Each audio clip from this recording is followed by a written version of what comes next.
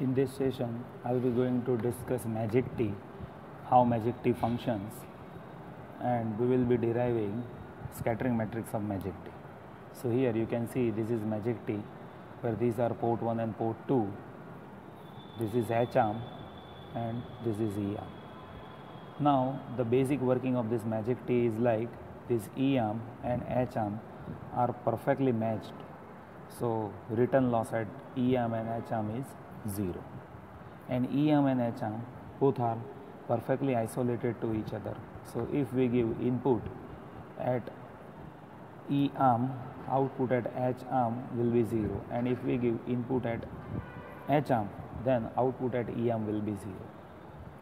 Now basic working of E arm and H arm is like if we give input at E arm, then output at port 1 and port 2 that will be same but out of phase. And if we give input at HM then output at port 1 and port 2 that will be same but in phase.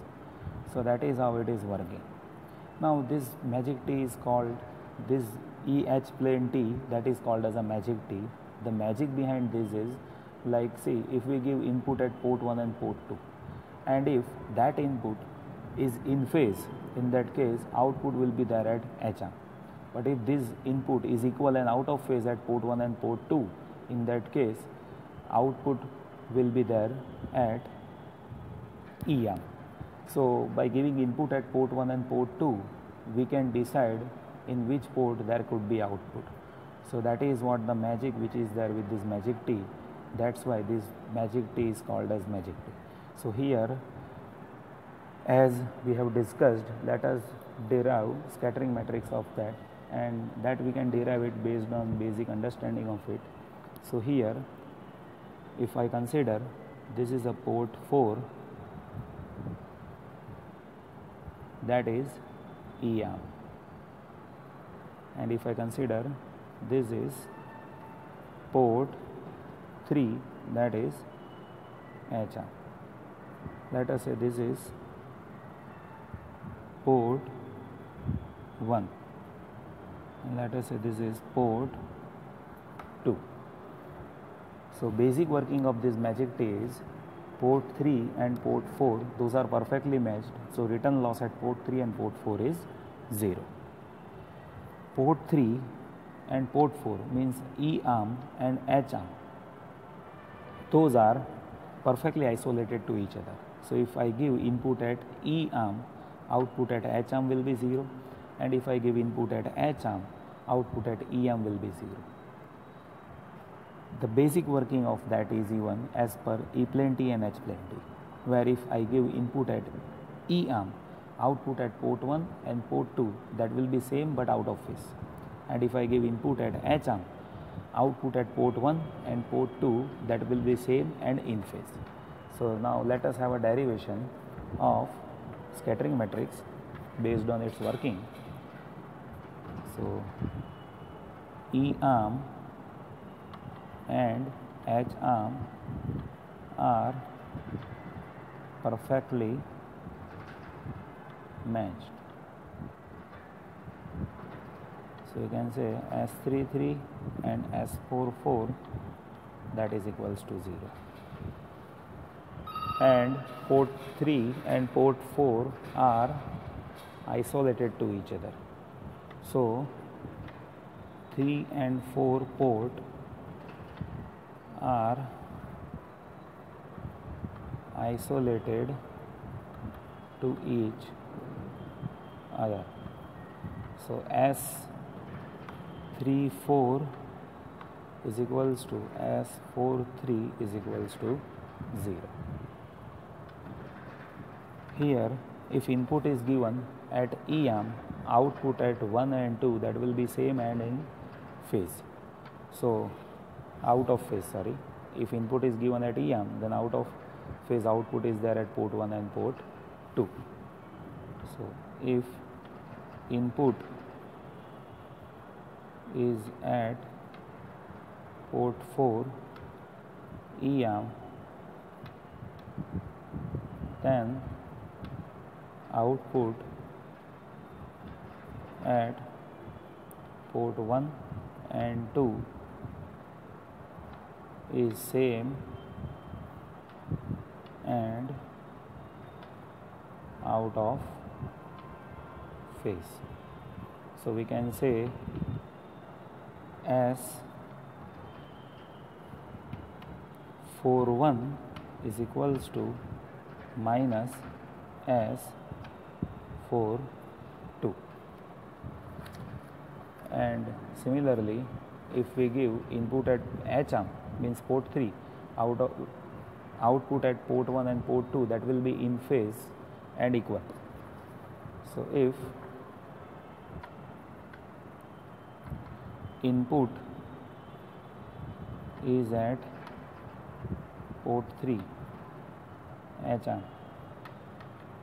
then output at port 1 and port 2 is same and in phase. So we can say S31 is equals to S32. So this is what the basic working which is what we need to utilize uh, in a derivation of scattering matrix where EM and HM are perfectly matched. So S33 and SS, S44 is 0 and 3 and 4 are isolated to each other. So S34 is equals to S43 is equals to 0 and if input is given at EM then output at 1 and 2 will be same and out of phase. So S14 is equals to minus S42 S minus S24 and if input is given at HM then output at 1 and 2 is same and in phase so S13 is equals to S23. So now for further derivation of scattering matrix we need to consider property of symmetricity. So as per symmetry city can say Sij is equals to Sji.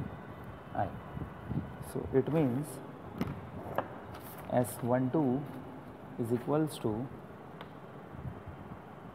S21, S13 is equals to S31, S24 is equals to S42. So now let us place all those things in scattering matrix. So now scattering matrix of magic T that will changes to initially it was 4 it is 4 ports so S11 S12 S13 S14 S21 S22 S23 S24 S31 S32 S33 S34 S41 S42 S43 S44 now here port 3 and port 4 return loss is 0 so S33 S44 is 0 so these two are 0 3 and 4 are isolated to each other so S34 is equals to S43 is equals to 0 and S11 S22 that is what we need to find out. And S12 and S21 is same.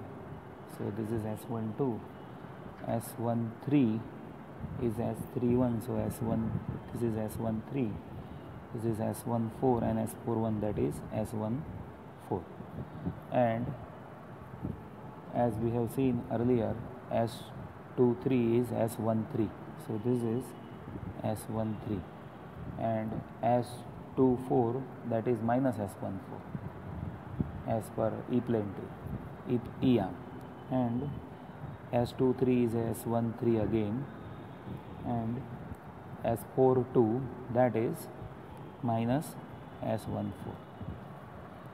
So this is how we can reduce this matrix to this. Now to have a solution of these parameters which is there inside of this magic T's S matrix, we need to consider it follows identity. So we can say S S star is equals to i. So that is resulting into S11, S12, S13, S14, S12, S22, S13 minus S14 this is S13 S13 S14 minus S14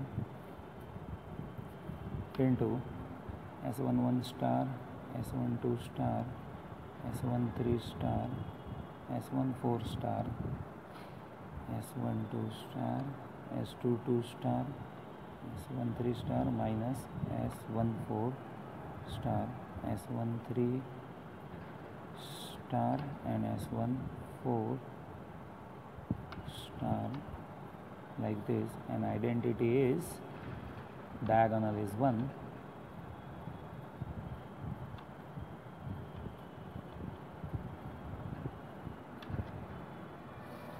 So now to have a calculation of this unknown parameter, let us multiply rows and columns to each other and use those equations to have a solution. So from can say R1 C1 S11 square plus S12 square plus S13 square plus S14 square is equals to 1. From R2 C2 S12 square plus S22 square plus S13 square plus S14 square is equals to 1. As per R3 S13 square plus S13 square is equals to 1 and S4 R4 C4 S14 square plus S14 square is equals to 1 and from this we can say S13 is equals to 1 by root 2 and S14 is equals to 1 by root 2. So if we place S13 square and S14 square is equals to 1 by root 2 in above equations then this is this 2 will be placed in these equations so that is resulting into s11 square plus s12 square is equals to 0 and s12 square plus s22 square is equals to 0. Now if this is 0 then we can say s11 is equals to s12 is equals to s22 is equals to 0. So all those parameters are 0. So from this we can identify magic T scattering matrix and that is this 4 are 0 and this 4 are 0 and these are 1 by root 2 this is minus 1 by root 2 this is minus 1 by root 2 and these are 1 by root 2 so that is how magic T functions. And this is the scattering matrix of magic T. Hello friends, if you like this video then please subscribe to my channel and ask any queries there. If any query is there, please mention below in comment. Thank you so much for watching this video.